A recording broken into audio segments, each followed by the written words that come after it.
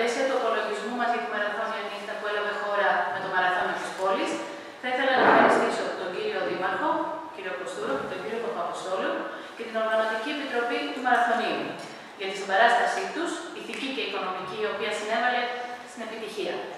Κάνοντας λοιπόν ένα σύντομο απολογισμό της σημαντικής για τον εμπορικό κόσμο τη πόλη μα αυτή τη μαραθώνια νύχτα,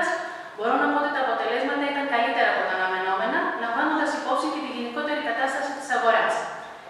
Υπήρξε σημαντική προσέλευση και επισκεπτών στην πόλη, αλλά και γενικότερα καταναλωτικού κοινού στα καταστήματά μας.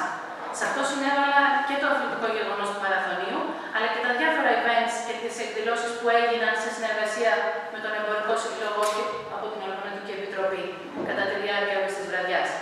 Θα θέλαμε λοιπόν να χαιρετήσουμε την προσπάθεια αυτή του Δήμου και να ζητήσουμε να επαναληφθεί, διότι βοηθά πολύ στην ανάπτυξη του τουρισμού αλλά και την αγορά της πόλης μας. Ευχαριστώ και μεταφέρω τι